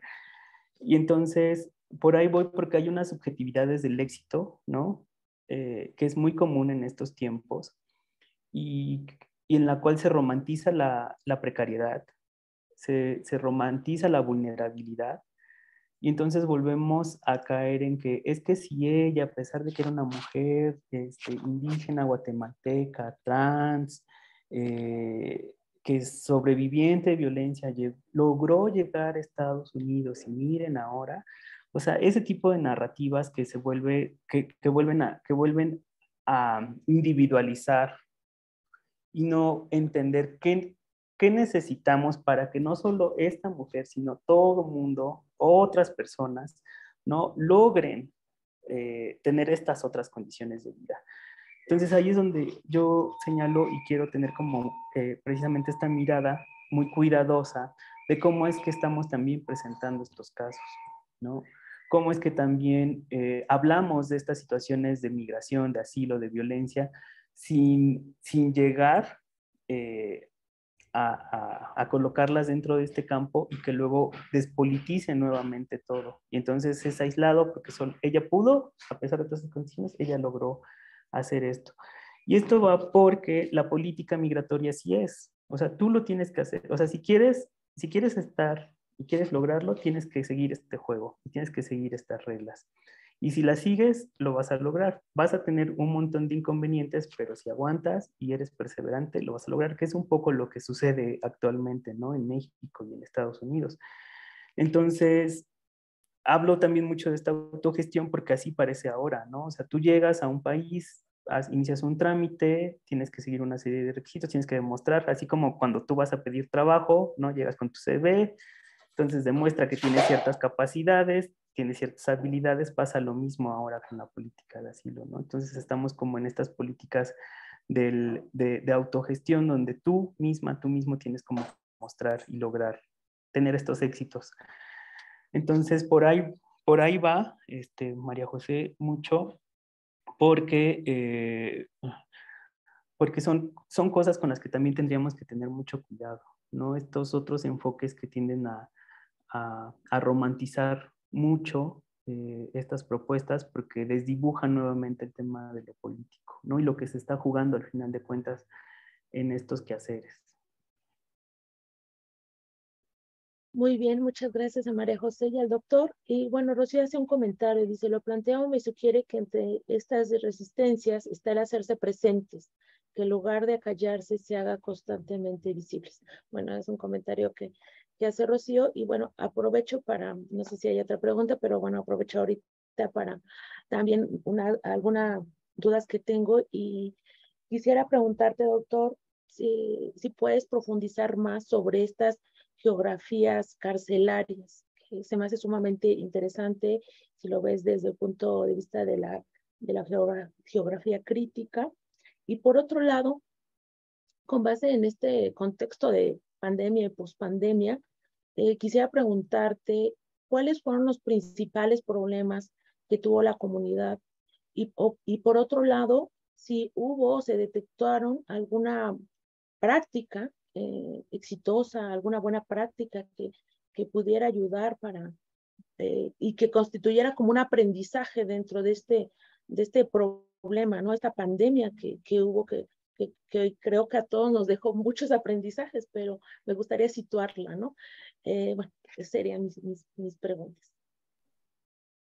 Eh, con geografías carcelarias, efectivamente viene de un acercamiento de las geografías críticas y tiene que ver principalmente con dos uh, autoras que hablan como tal con este concepto que es eh, Gilmore Wilson y Moran Dominic, que son eh, dos personas que están bueno, que yo retomo principalmente, como para poder construir esta, esta lectura eh, de lo que sucede en Estados Unidos, ¿no? Porque hay que entender que hay una, eh, o al menos estas, estas autoras junto con Angela Davis y demás este, personas que tienden esta, mira, esta mirada anti, antipunitivista y anticarcelaria que buscan colocar en Estados Unidos, eh, que es algo muy presente y muy latente que no podía quedarse de lado a la par de, de entender estas políticas de asilo, ¿no? Sobre todo cómo funcionan los centros de detención, ¿no? O sea, no hay, no hay, no, no hay mucho como que complejizar en ese sentido, pero que a mí me interesaba mucho porque eh,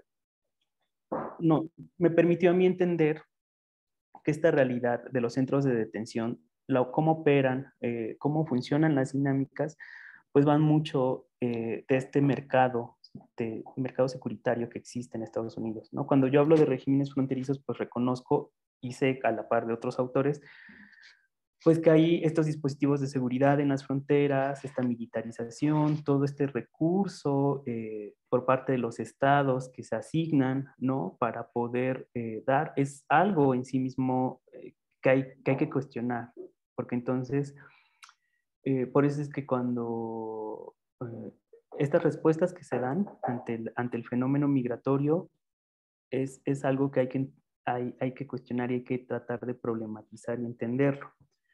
Entonces, estas geografías eh, carcelarias precisamente colocan todo este tema, ¿no? Hay fondos públicos que están colocados ahí. Hay una mercantilización de los centros, bueno, de los centros carcelarios, en este caso también de los centros de detención. ¿no? Hay intereses económicos de por medio eh, y, hay, y se crean subjetividades en torno a ellas, ¿no?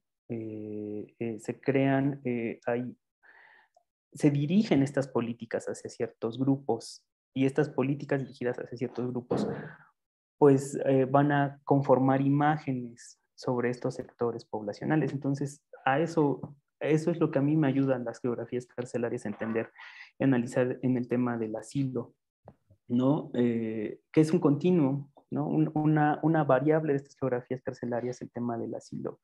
Entonces había que entenderlo más y analizarlo más porque hay un departamento de Estado de Estados Unidos que precisamente está encargado de todo este tema, ¿no? Y entonces, ¿qué está sucediendo eh, sobre esto? Que es algo que sigo problematizando y sigo tratando como de, ir entendiendo, ¿no? A la par de todo esto. Entonces, por ahí, por ahí va uno y que se concreta pues en este régimen. ¿No? ¿Qué sucedió con la pandemia? Pues todas, todas sabemos que las fronteras se cerraron, que las personas que estaban en los centros de detención eh, estuvieron prácticamente aisladas por muchos meses, ¿no? Todos los juicios, eh, todas las, las, sesiones que ellas tenían como eh, para retomar el tema de su asilo se prolongó aún más, ¿no? Quienes estuvieron en, centros de detención ya por mucho tiempo tuvieron que continuar por mucho más tiempo porque no, no existía como qué vamos a hacer ahora con las personas que están acá adentro, ¿no? Salen, eh, salen eh, con todas las limitaciones con las, que, con las que tienen que salir y los juicios siguen siendo aplazados, ¿no? Porque ante, ante todo esta... Eh, ante todos estos casos que existieron a partir de las caravanas, ¿no? que fueron muchísimos y que, implica, y que implicó una, pues una organización interna en Estados Unidos para dar respuesta a todas, a todas estas solicitudes, eh, hubo también muchas presiones, ¿no? Para que muchas de ellas pidieran eh, su retorno voluntario, ¿no? Para que se les negara el caso de asilo porque no tenían estos, eh, insisto, ¿no? Como hacer esta lectura de, de los trabajos, no tenían este soporte para poder ser consideradas unas personas que, pudieran acceder al asilo.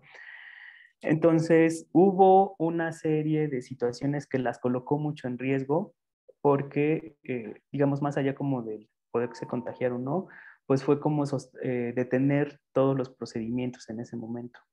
Incluso ahora, insisto, o sea, después de pospandemia, eh, una de ellas que ingresa en 2018, 2018 a un centro de detención, estamos a 2022 y sigue sin poder tener, es la de esta jueza en, en, eh, en, Miami que les digo, que le dijo de manera, o sea, que se dirige hacia ella como con su nombre anterior, que no respeta su pronombre ni su nombre, ¿no? y que habla de esta transfobia institucional que también existe en Estados Unidos. Porque esta es otra lectura que a mí me interesa también colocar, ¿no? O sea, eh, cómo se han hecho los estudios eh, de refugio, cómo se retoma el tema de Estados Unidos, de México, cómo estos países atrasados, transfóbicos, la, la, la, pues no, o sea, también están en este, este continuum de violencia, que es lo que decías desde el inicio, ¿no? Existe todavía en Estados Unidos. Entonces sí es muy complicado y sí ha venido a agudizar más. De cierta manera ha dado mayor soporte porque tienen una mayor seguridad de que, bueno, voy a permanecer en el país y nadie me va a retornar, ¿no? Porque tengo esta seguridad, pero ni siquiera sé hasta cuándo voy a estar en el país, porque si la juez o el juez decide no otorgarme el asilo, me voy a tener que regresar. Y entonces ahí otra vez luchan, ¿no? O, ponen en riesgo su integridad después de cuántos años de no poder acceder a ese derecho.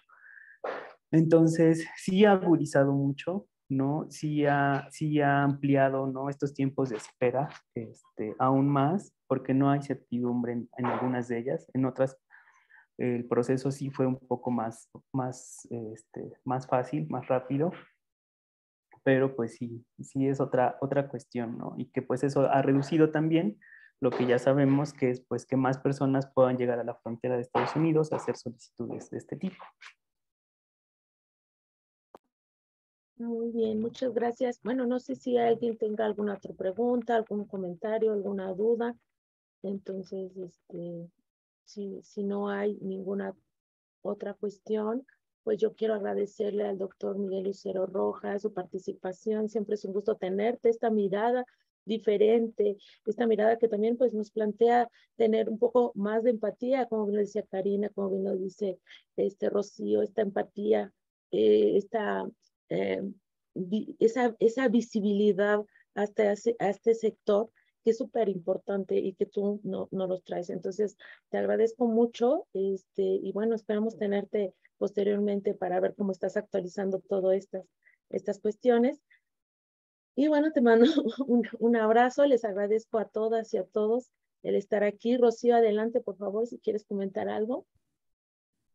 Eh, sí, nada más eh, quería, eh, de la pregunta que me mencionaba que se le había como trasapelado, era la coyuntura que le había empujado hacia el estudio del, del, del, tema en particular y una duda adicional, y esta es más como en el apartado de lo que en alguna ocasión leí del promedio de vida de una, de una mujer trans em, variaba entre los 35 y 40 años. por un lado se mencionaba el tema de de los suicidios y por otro los, los, los casos de, de muerte por, por, justamente por este, esta homofobia, ¿no? El, el odio que se tiene hacia lo, lo diferente. Si hay alguna eh, como variación o, o, si prevalece ese, ese dato que, que leí al respecto.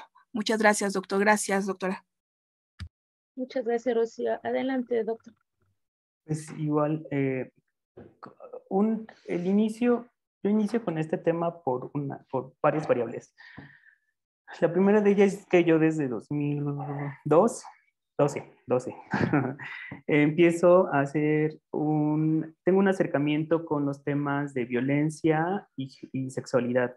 Empiezo con temas de crímenes de odio, eh, y pues desde ahí empiezo con una perspectiva crítica respecto a lo que se enuncia dentro de los crímenes de odio, eh, lo que se hace, ¿no? Y lo que sucede en la realidad. Entonces, ahí inicio. Y dentro de estos crímenes de odio, una de las constantes hemerográficas que yo me encontraba y que eran como, pues, paralelas era este tema de, de temas de personas LGBT migrantes y que también eran asesinadas en las fronteras. Entonces, este fue uno de los primeros acercamientos, eh, eh, digamos, fue un, primer acercamiento que me llevó al tema y de ahí, pues, eh, el, el, conocer y el estar como teniendo interés específicamente en este tema, pues me van a reconocer que una... Iba a ser muy ambicioso para un programa, para una investigación de tan poco tiempo, tener que hacer un estudio hacia toda la población LGBTIQ+. Entonces, reconociendo estas situaciones estructurales que ya los comentaba eh, Rocío, ¿no? las mujeres trans dentro de todo el colectivo eh, son las mujeres más, son las personas más vulnerables, ¿no? Eh, por muchos temas en cuanto a la situación que atraviesan.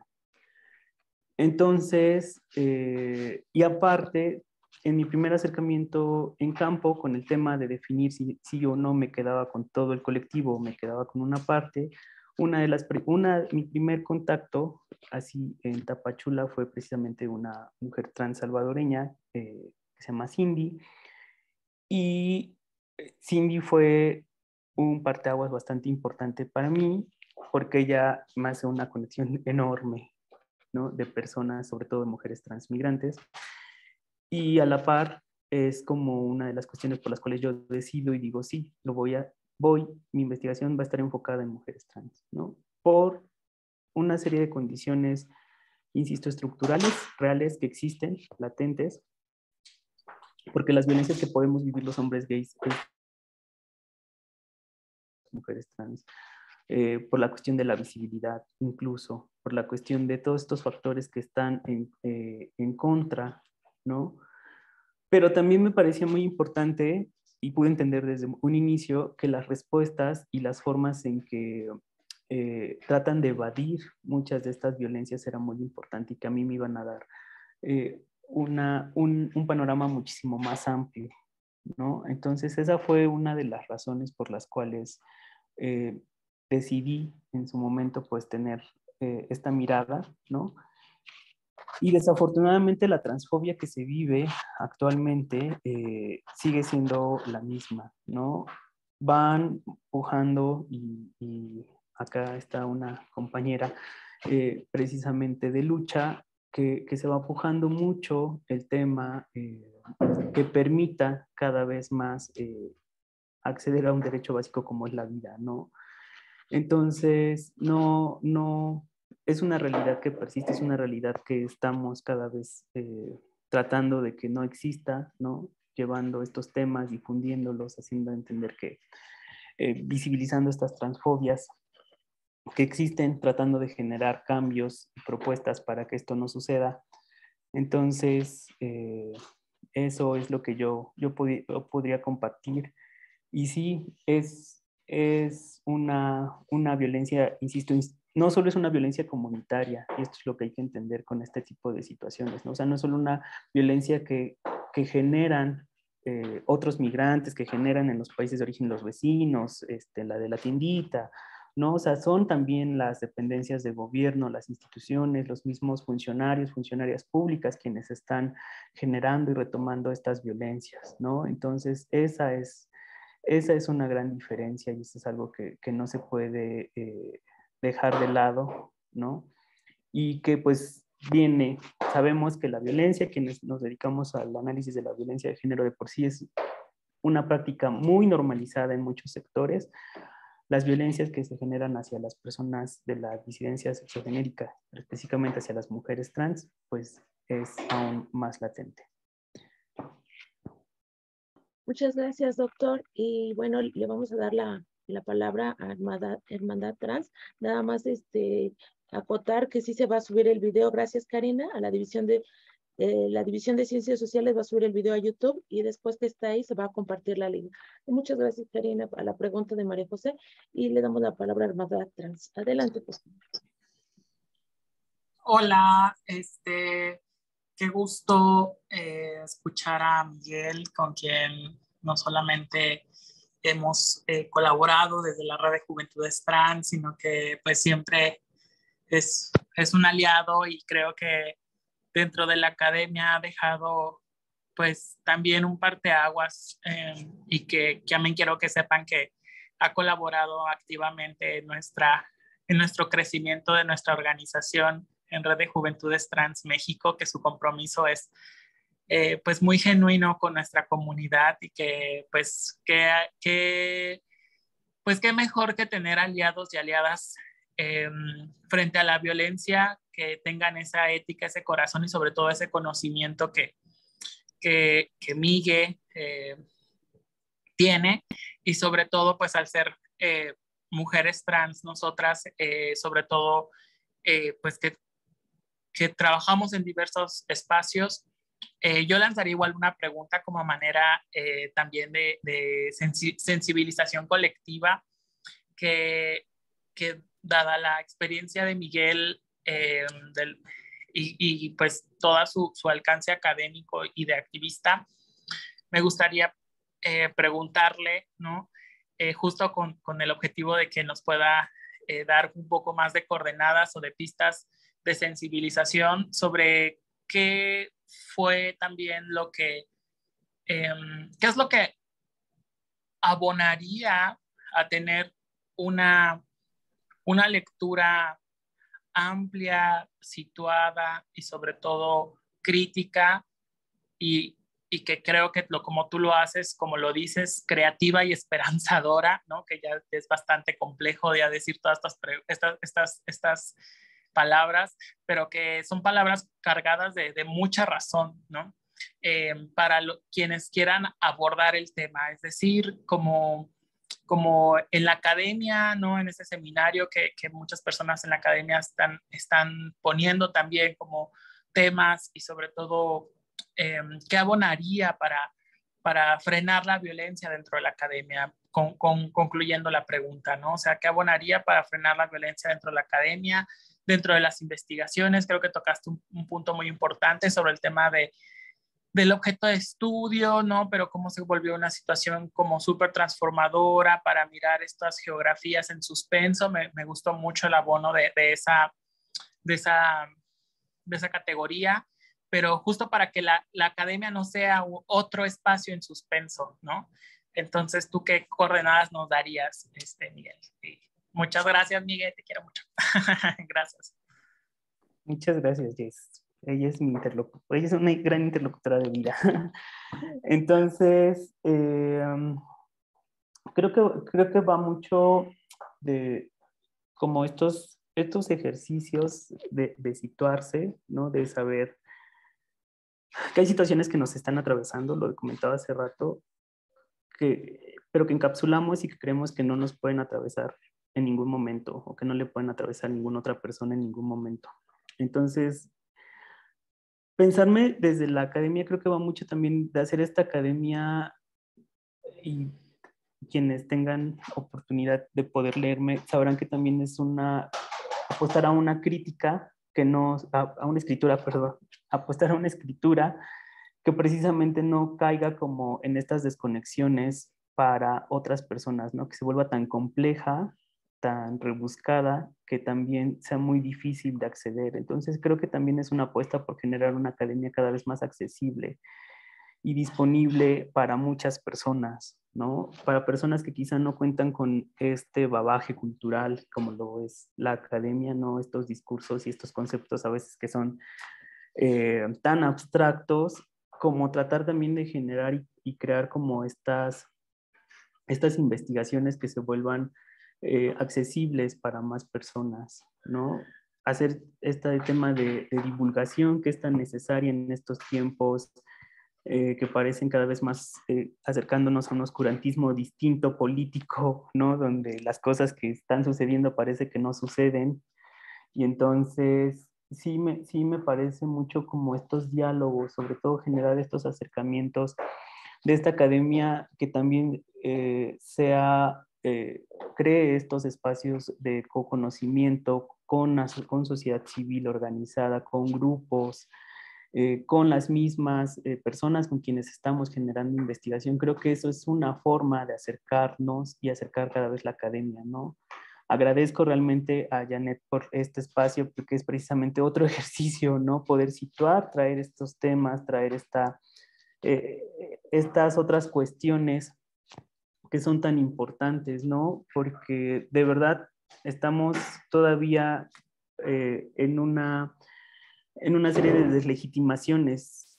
Para mí el doctorado donde yo cursé el doctorado, no me canso de decirlo ni de hacerlo público, fue un reto porque eh, para, la, para los mismos académicos no era un tema relevante de investigación, ¿no? Era una cuestión banal, ya, el género, los feminismos y quién, como para qué, o sea, desde ahí tenemos estos, eh, estos grandes retos de seguir como transformando estos espacios, ¿no? Llevar este tipo de investigaciones, llevar este tipo de temas, estos compromisos eh, dentro y fuera de estos espacios es como es lo único que nos puede seguir abonando, ¿no?